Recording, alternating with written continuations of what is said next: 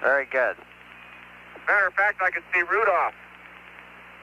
I can even see the triangle, Rudolph, Frosty, and Punk.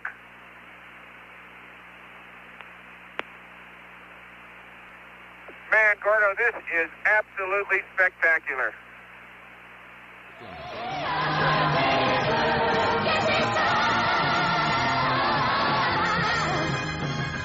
Men and women of Australia, the decision we will make for our country on the 2nd of December is a choice between the past and the future.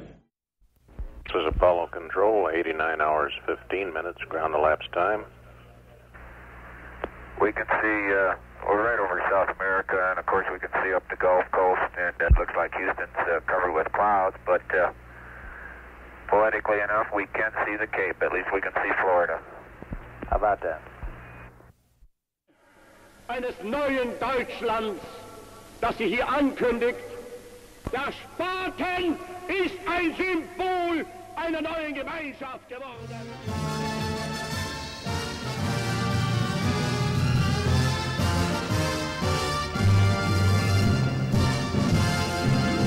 Where did you live? At 3722 West End Place, where the plane tail is, that's where my house was. How did you find out about what happened? One of the fellows down at work told me a plane cra- hit over this way. You left work? Well, I quit at 3.30 and a foreman brought me over here, brought me home.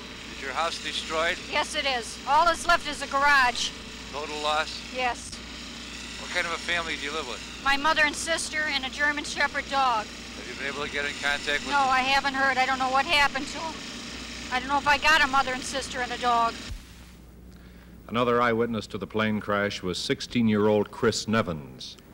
First, I was going into my friend's garage, and uh, we heard this uh, jet, and all of a sudden we heard like a sonic boom, and so we came running out, and I looked and I saw, I saw the plane like hit the uh, garage and go through it, and then uh, I saw it go up in flames, and I ran over there, and I could see the pilot or the co-pilot in the cockpit hanging out. Uh, his arm was, and he was in still in the cockpit, and I could hear people screaming, and people were trying to get at him.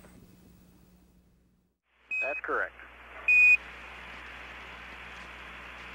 Okay. Hey, Ron, listen, this ridge you're coming on over, just stick your hand out the hatch and grab a rock. Go ahead, Gordo. Okay, uh, your paralone seems to be Hey, we shifting. got the landing site, Gordo. Okay, Hey, I'll hold. we got the landing site. We're coming right over the front of it. Stand by a minute. You can see the slide. I think you can see the Great Cross. Get up a minute.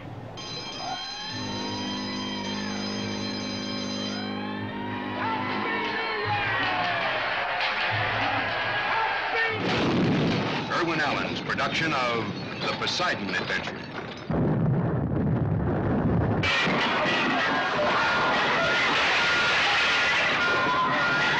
1,400 people on board, only a handful will survive. This is their story. Stage pushed. Engine arm is S. Okay, I'm going to get the pro. 99, proceeded. Three, two, one. Ignition. Right away, Houston. That's your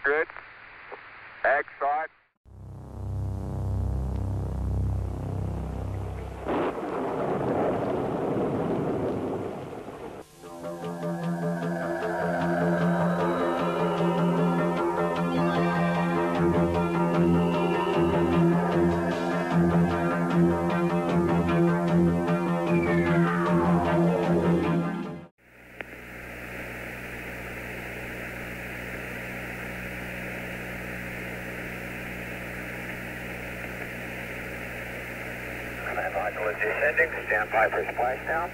America's at 300 feet.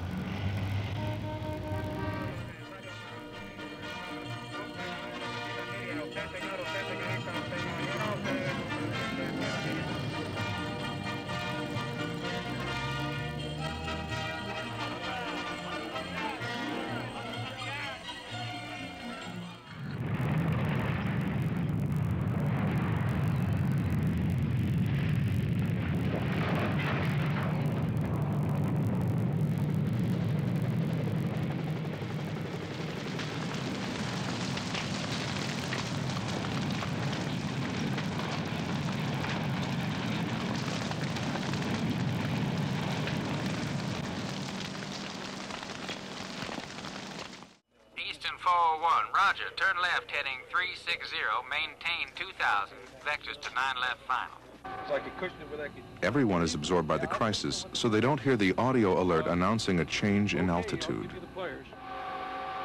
Eastern 401, I'll go out west just a little further if we can here and see if we can get this light to come on. Eastern 401, how are things coming along out there? Hey, we did some of the altitude here. What? Uh, we're still at 2,000, right? Hey, what's happening here?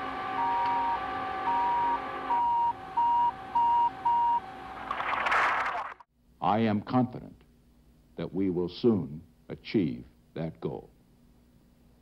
But we are not going to allow an election deadline or any other kind of deadline to force us into an agreement which would be only a temporary truce and not a lasting peace.